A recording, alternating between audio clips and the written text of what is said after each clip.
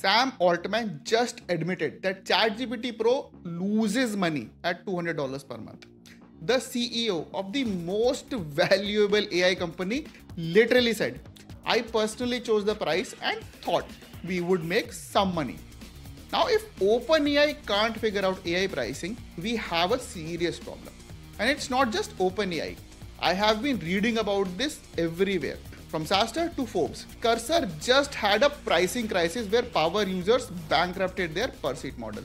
The pattern is clear. Traditional SaaS pricing breaks in the AI era. And here's why. In regular SaaS, whether you use the app 10 minutes or 10 hours, it costs the company almost nothing. In AI, every single query burns real money on GPU costs. More engaged users equals bigger losses. Even AI says polite users saying please and thank you costs them tens of millions. As a pricing strategist, I have been warning about this exact problem.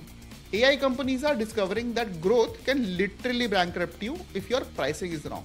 The solution is not abandoning subscriptions. It's hybrid models that protect against power users while keeping pricing simple. Now here's my question.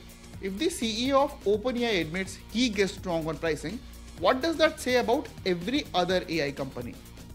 Are we heading for a AI pricing crash? Drop a comment below.